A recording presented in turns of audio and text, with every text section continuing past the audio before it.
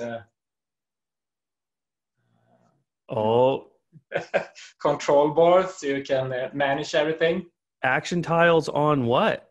Yeah, action tiles on an Android tablet. Oh, wow. yeah So you see, I have all, all my windows and doors, Yep. and here I have uh, um, temperature sensors. Oh so I can goodness. monitor the temperatures. And here's all my lights in the living in, in the apartment, and all my security cameras. And here's me and uh, Pia, my girlfriend. And I'm home, and Pia is not present. Wow. This is, yeah, so you can see that one one of my windows is open right now.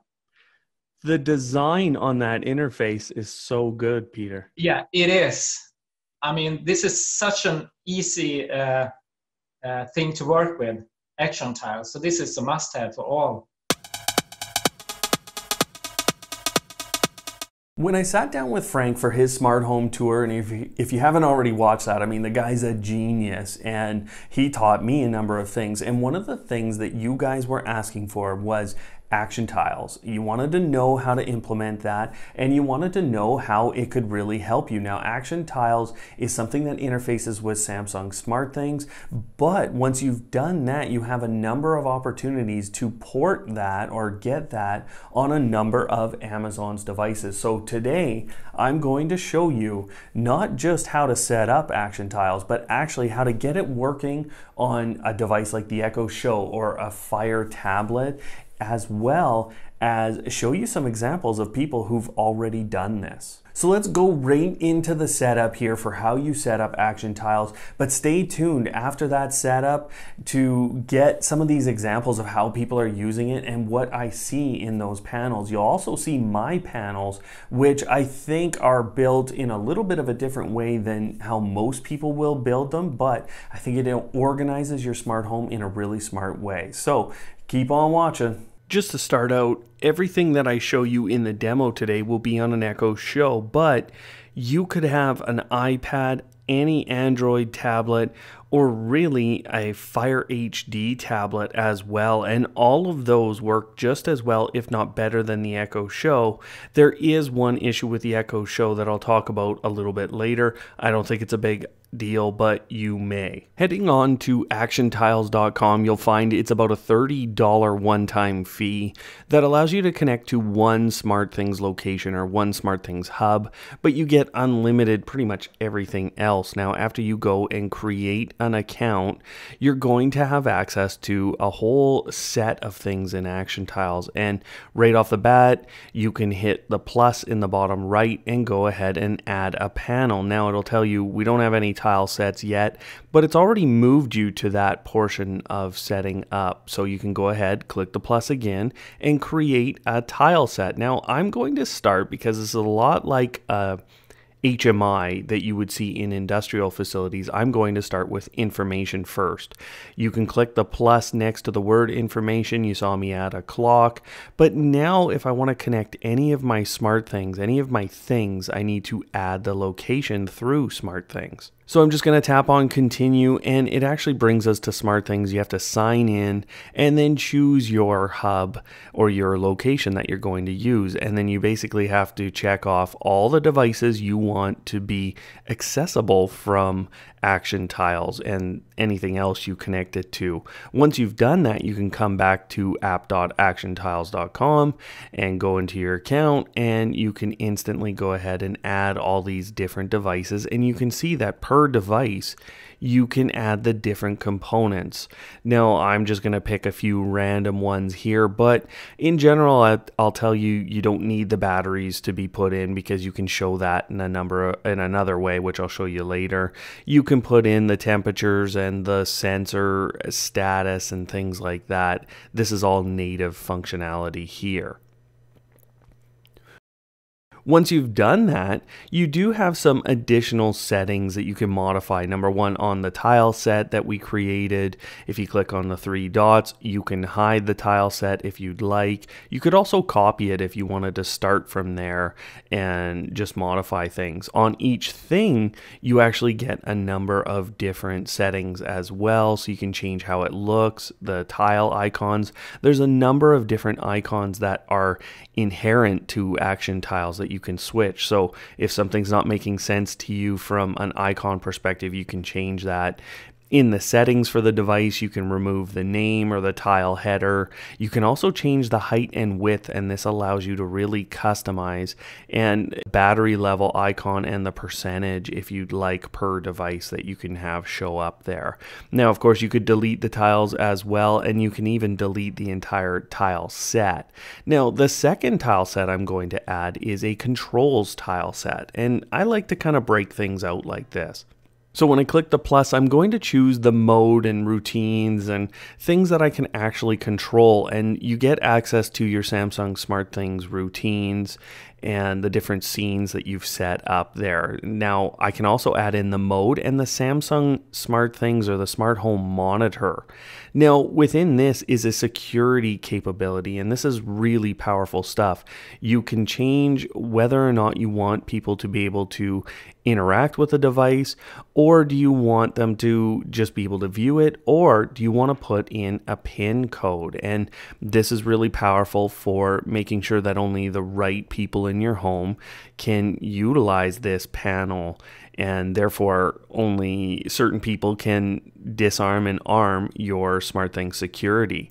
So you can go ahead back into that tile security and choose the pin pad. And you can do this for the mode control as well if that's how you manage things through SmartThings. Now, of course, you can make those changes on any of these controls, but now I'm going to add a third tile set, which is the cameras component, and we're going to add media. Now, today I'm going to show you how to add in both your Nest cameras, and you can see that's the third option, as well as Wyze cameras and a number of other cameras through another application. Now, Nest cameras, basically, they require you to share them publicly, and so you can go into your Nest Nest account on the actual Nest website and you go into the settings, you scroll down for the settings in this camera and you go to camera sharing. Now there's two options, share publicly or share with a password and I'll show you that a little bit later.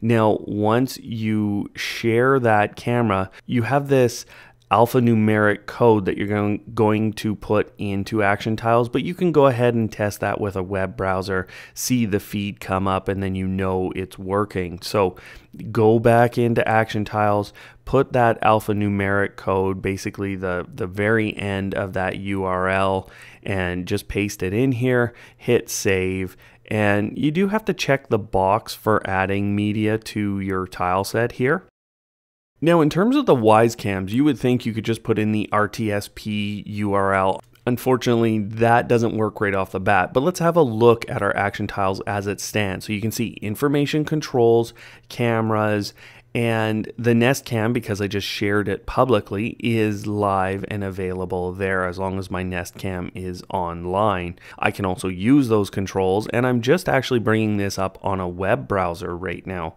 So you could always leave a web browser on a PC or a Mac logged in, go to Action Tiles, and control your smart home from there. Now, of course, I'm going to show you those other interfaces as we go back into action tiles you can change the look and feel. If you didn't like how that looked there's a number of themes that are available in the my themes section and you can change your panels theme.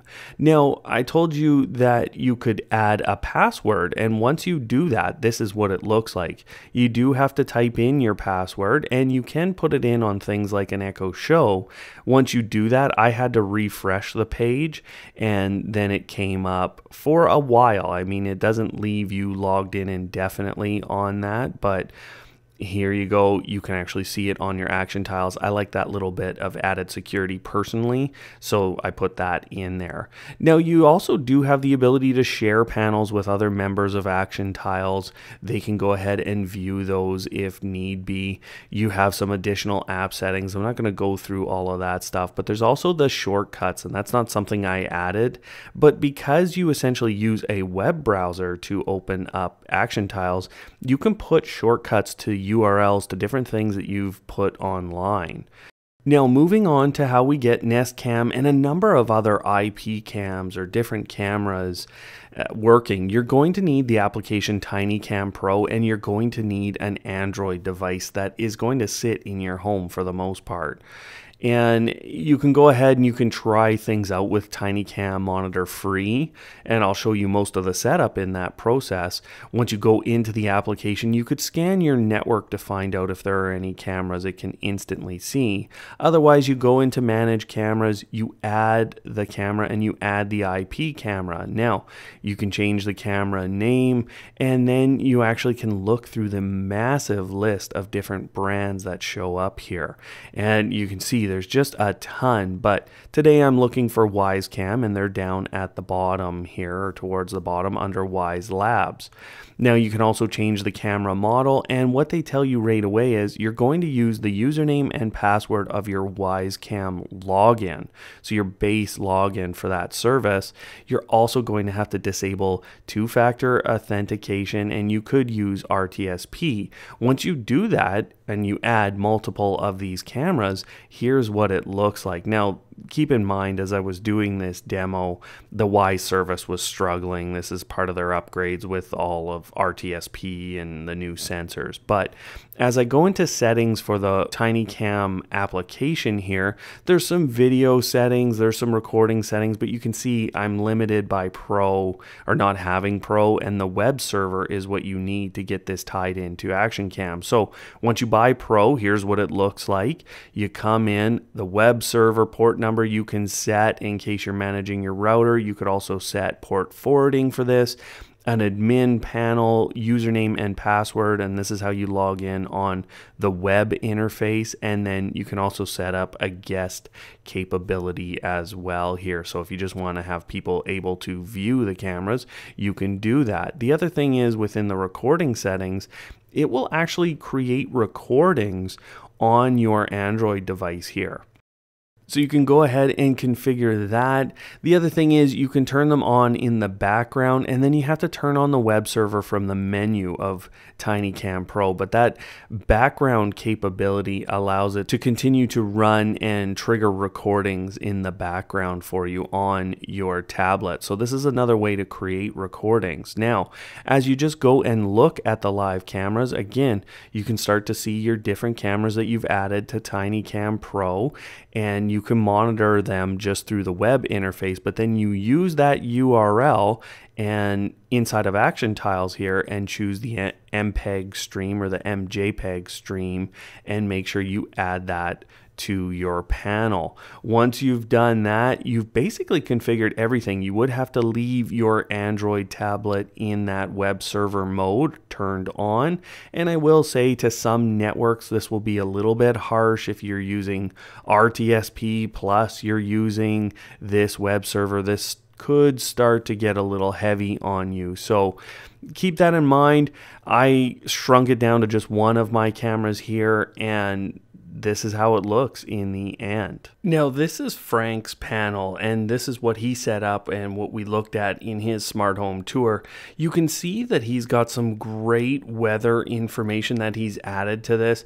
Even a seven day forecast is sitting there. He also has a ring doorbell that he can see the activity on, and of course, he's got all the controls of his lights, and he even has a full calendar to know which day it is. Now, you can see six different cameras that he has working on this all through the methods that you saw here today. So just briefly looking at Peter's panel, what I want you to have a look at here is how he's put spaces in between and he has specifically designed this for the size of his display. So he's set some things here that have really made this a user-friendly display and you can see how he's broken out the different components really well in his home. Now the other thing that you'll notice is his cameras he's able to basically turn them on and off and go to them as well here from this panel. So really powerful stuff from Peter and I'll let you see his roll through of this again from the start of the video. Yeah, action tiles on an Android tablet. Oh wow! Yeah. So you see, I have all all my windows and doors. Yeah. And here I have uh, um, temperature sensors. Oh so I can goodness. monitor the temperatures. And here's all my lights in the living in, in the apartment, and all my security cameras. And here's me and uh, Pia, my girlfriend. And I'm home and Pia is not present. Wow. This is, yeah, so you can see that one, one of my windows is open right now. The design on that interface is so good, Peter. Yeah, it is. I mean, this is such an easy uh, uh, thing to work with, action tiles. So this is a must-have for all as we go through the demo today, I'm going to be showing you on the Echo Show, but what I'll tell you is this device will time out no matter what browser, no matter what setting you change, this device times out after five minutes. And that's really the big differential between this and tablets for using this as a constantly running display for you and your family. Now, going into actually the Silk browser, all I do is Open ask for Silk. Silk and I can set up a tap uh, function here on my Echo Show. Inside the screen, you can see I have a smart home monitor right away and I have a pin pad or a pin code set up that I have to put in in order to arm and disarm the system. So I can only get to that screen with that pin code. Now, I also have my controls for routines and I've again put a pin code on that and that ensures that nobody can run those routines, which could trigger certain things in my home that are security based. Same with the mode away, home, and night. I can't set that without a pin pad. Now, I also have the cameras, and I had turned off the Wyze cams for this just for this speed of the actual device here. And you can see how I do have to put in the password. And once I put in that password, everything shows up. Now you can have to refresh in some cases, but it will show up on your tablet screen. Once you have it show up, on the screen, you just tap the little X up at the top, and then again, you refresh the page here and it brings up the camera. So once you have your different cameras all showing as you'd like, this will basically hold from then on out, or at least for the session while you're sitting here. Now, how I organize my screens a little bit differently is by area. And so this is my security screen, and it allows me to go through the different components of my security system in a really clear fashion. I have the presence, I have doors, I have motion detection, leaks in water, and then I have my cameras again. From there, what you'll notice is I have a path right back to the home panel. So this allows me to move between screens really seamlessly. And I would say that this allows you to break up things. Now, the other control panels I have are for different parts of my room. So I have bathroom lighting, the living room, my studio here, and the bedrooms. And as I go into my bathroom here, I have all the different lights and I can turn on, turn off those. And then I have a number of sensors showing what's going on in the areas and the humidity, the temperature, and the UV light that we're seeing. Now, I can go back again to the home page and go to another portion of my home, the living room, where I have a number of other things. And I have a Sonos player here on the screen as well, and you actually get quite an interesting little control interface. Now, this is coming through smart things. It allows me to start playing.